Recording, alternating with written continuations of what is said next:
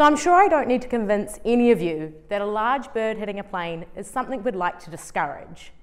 With an adult body mass of around 6 kgs, black swans are large birds.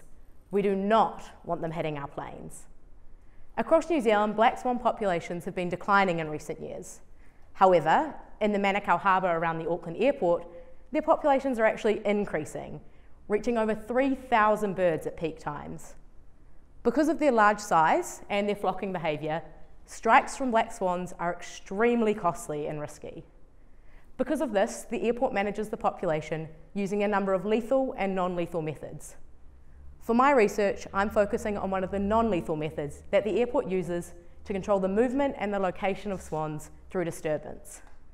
To do this, the airport take out a pretty cool looking jet ski known as a ProJet to chase the birds out of high risk areas close to the runway. Despite costing over $70,000 just to buy, there has been no formal assessment of how effective this method is at reducing the risks of bird strike. This, of course, is where my research comes in. So for my master's, we're using GPS tracking technology to look at how these chases affect the movement and the behaviour of black swans at the Auckland airport. To do this, we're going to be looking at a number of different proxies for bird strike risk and compare them before and after an intervention occurs. For example, we can look at where the birds spend most of their time and when they're most likely to cross the runway. We can do this by creating heat maps like the one shown on the screen from raw GPS data. These heat maps will show us hotspots of movement activity that can be compared before and after an intervention occurs.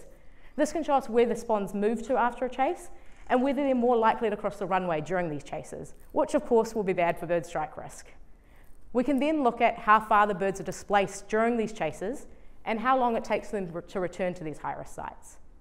From this data, we can inform managers on how often they should do chases so they can reduce the amount of time the birds actually spend in these high-risk areas.